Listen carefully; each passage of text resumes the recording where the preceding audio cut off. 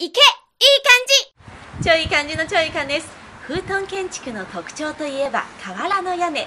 実はその上でコーヒーが飲めるんです。北京の風遁にはこのような瓦屋根カフェがいくつもあるんです。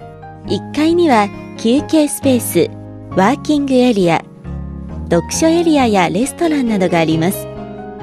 そして2階へ上がっていくと、瓦の屋根がすぐそばにここでは100年以上の歴史ある瓦の屋根に触れることができます。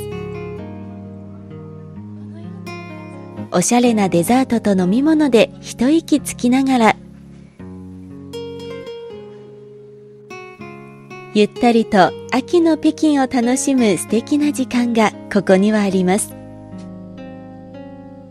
皆さんも瓦の屋根の隣でのんびりとしたひとときを過ごしてみませんか？